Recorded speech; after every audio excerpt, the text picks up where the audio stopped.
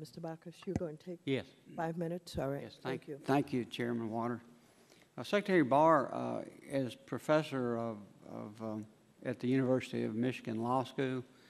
Uh, You, along with the Harvard professor uh, Elizabeth Warren, are widely recognized as uh, the chief architects of the conceptual framework behind the uh, Consumer Financial Protection Agency.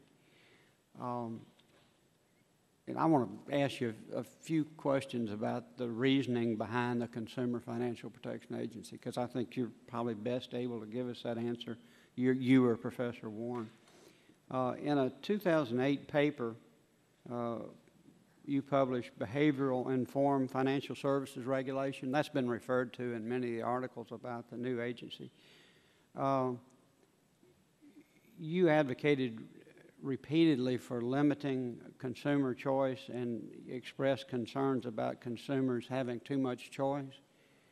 Uh, Is the proper role of, uh, of the government to limit consumer choice, or is that a part of, uh, of what this new agency would do?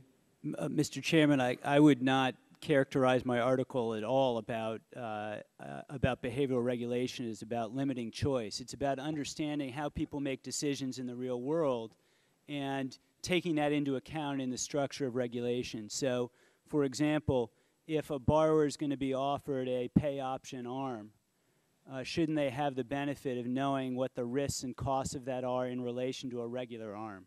The basic idea behind the approach is let's give people the tools they need to make better financial decisions. So on the credit card bill, one of the things the Congress did is to require the credit card companies to say, what are the actual consequences of only paying the minimum balance? The actual consequence in terms of additional time and cost to pay off a credit card bill. And I think that's an important behavioral tool that is good regulation, that's smart regulation. That's the kind of regulation the Consumer Financial Protection Agency would be uh, empowered to offer. It empowers people to make better decisions. It doesn't limit consumer choice.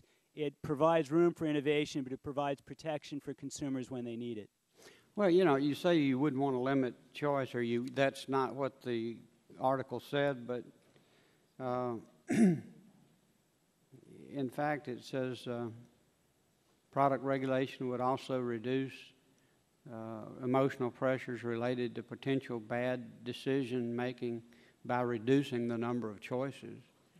Uh, Right. So in that article, I'm describing, in distinction to product regulation, which has certain costs associated with it to financial innovation, I offer an alternative to that that is less restrictive in the marketplace. So the particular provision that you're describing is describing a form of regulation that is heavier handed than the one that I prefer Okay. and I advocated for in the article. So you're, you're, you're advocating a, in the article, a more heavy-handed approach than, than you're now advocating? No, the article is describing a lighter approach to regulation. In the particular provision you're referring to, I'm contrasting the form that I prefer to the form that you're describing. Okay. Um, You say here, individuals consistently make choices that uh, they themselves agree diminish their own well-doing in significant ways. Uh, So, yes, the empirical literature, uh, uh, Representative Bachus, suggests that in many instances, consumers make decisions that they later regret, and that if they had been given full information about the financial consequences of their decisions, they would have made different choices. So, So, if we're able to empower them in advance with the knowledge about what those decisions actually would mean to them, they're likely to make much better decisions. so the new agency would not either make those choices or suggest certain choices to them, or, or maybe establish a, a, a government-proposed solution? That, that's right, Mr. Bachus. I think there is some misunderstanding, for example, about the idea of standard products.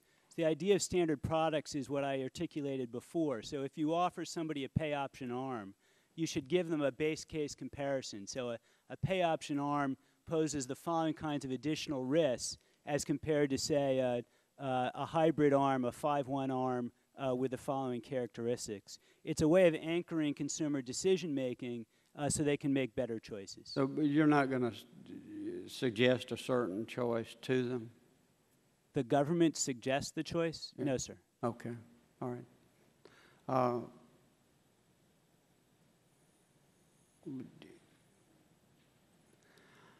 I think that's all. Thank you. Thank you very much. Mr. Green? Thank you, Madam